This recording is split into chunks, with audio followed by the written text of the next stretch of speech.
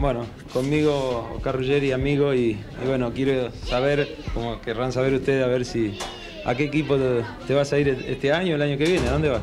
No sé, todavía, todavía acá, me quedo por el momento acá y espero, espero si se llega a hacer algo en las próximas horas que me avisen, ¿no? Por lo menos a mí, porque salen en todos lados, pero a mí nadie me avisa nada. Avísame a mí, una vez te acompaño. Bueno, cómo no, cómo no, ojalá. Yo creo que yo creo que de todas maneras eh, vos sabés que si el Betty tiene la mala suerte que desciende, que yo no creo porque tiene buen equipo, eh, Pumpido no, no, Pumpido tiene que estar en cualquier equipo de primera de, de gran nivel en España, en cualquier, en cualquier lado, ¿no? No, se me acordaba que después te pague la cena, manejame bien. No, Car- pagámela, pero- No, no, antes de cortarte, te felicito por el partido porque la verdad lo vi muy bien al Logroño, apretando en todo el campo y ganaron merecidamente.